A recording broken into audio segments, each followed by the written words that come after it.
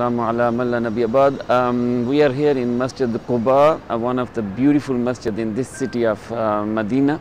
And there is a huge reward behind praying in this masjid. Call Rasulullah sallallahu alaihi wasallam Man tatahara fi baytihi thumma ata Masjid Quba, fasalla fihi salata kana lahu ka'ajri umra kama qala Nabi sallallahu alayhi wa sallam. If any one of us purify himself, at home and come to Masjid Quba and then pray here in this masjid, the reward behind praying in this masjid is as equal as uh, performing Umrah. And those who have performed an Umrah or Hajj, they understand the uh, struggle behind these rituals. It takes, it requires a lot of struggle to perform one Umrah. Can you imagine that you purify yourself and you walk to uh, walk to, to this masjid. By the way, uh, Messenger sallallahu alaihi wasallam used to sometime walk to this masjid. Is Sunnah Prophet Muhammad sallallahu alaihi wasallam to walk from Masjid an-Nabawi to Masjid Quba, and the Saudi government has beautifully uh, laid road from Masjid Nabawi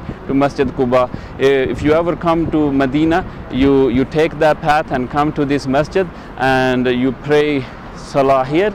The reward is as equal as uh, uh, Uh, uh, performing umrah. And this was the very first masjid. It was founded by the messenger sallallahu alaihi wasallam it was started by the messenger sallallahu alaihi wasallam wassalamu alaikum wa rahmatullahi wa